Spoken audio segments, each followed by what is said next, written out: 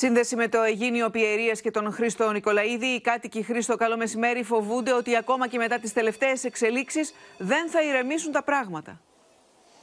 Ακριβώς, Λίνα, κυρίες και κύριοι, το κλίμα της έντασης αλλά και της ανησυχίας παραμένει, εξακολουθεί να υπάρχει κυρίαρχο εδώ στο Αιγίνιο της Πιερίας. Είναι χαρακτηριστικό ότι εδώ, έξω από το γυμνάσιο της Κομόπολης, στο οποίο βρισκόμαστε, είναι ε, σοβαρή, ισχυρή αλλά και διακριτική η παρουσία της αστυνομίας. Κάθε λίγο και λιγάκι περνά από εδώ ένα περιπολικό της αστυνομίας ή ένα αυτοκίνητο της ασφάλειας με συμβατικές πινακίδες, προκειμένου να διασφαλίσει ότι τα πάντα είναι ήρεμα και ότι δεν θα έχουμε επανάληψη των φαινομένων της ε, Παρασκευής. Αυτό και μόνο δείχνει το κλίμα που επικρατεί εδώ. Πρέπει να σου πω ότι με το δεδομένο ότι οι τρεις οι, ε, οι οποίοι προφυλακίστηκαν, επειδή δεν είναι οι, οι άνθρωποι οι οποίοι κατάγονται ή διαμένουν εδώ στο χωριό, αυτοί αφέθηκαν όλοι τους ελεύθεροι με περιοριστικούς όρους.